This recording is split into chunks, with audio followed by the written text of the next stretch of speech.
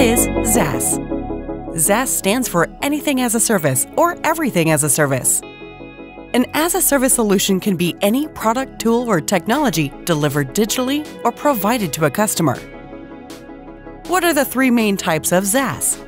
They are Software as a Service or SaaS, Infrastructure as a Service or IaaS, and Platform as a Service or PaaS.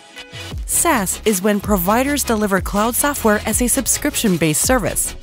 IaaS is the provisioning of digital infrastructure like networks, computers, services, and storage on a pay as you go basis.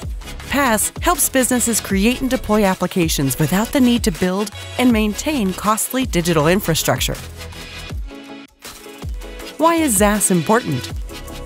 SaaS offers customers flexibility, cost efficiency, and increased productivity.